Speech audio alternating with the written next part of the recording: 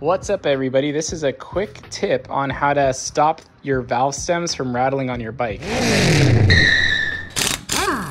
All right, so if you ever have ridden a bike for any sort of distance and you have a rattle in your valve stem or a rattle on any part of your bike for that matter, it'll completely drive you bonkers.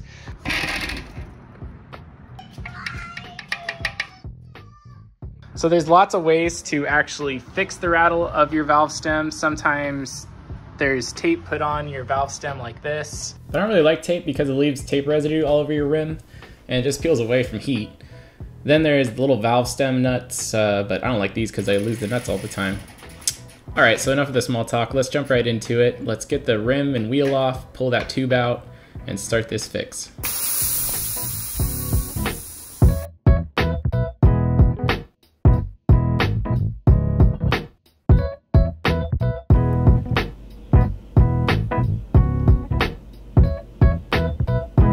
All right, tube's out and here's the valve.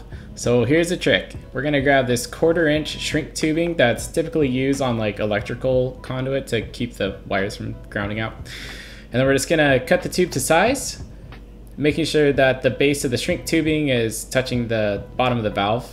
Slide it on over and then heat it up. We're just gonna shrink it down. Cool, now you can see that the shrink tubing is all nice and sealed as close as it can to the valve. Now we just gotta put it right back in the tire.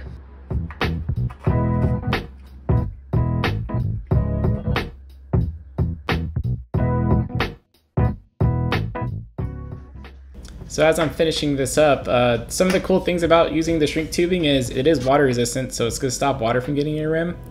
And then it's not gonna fly off and you're not gonna lose the nut. So yeah, actually a pretty cool tip and trick. Thanks dude at that bike race. Hope this video helped you all out.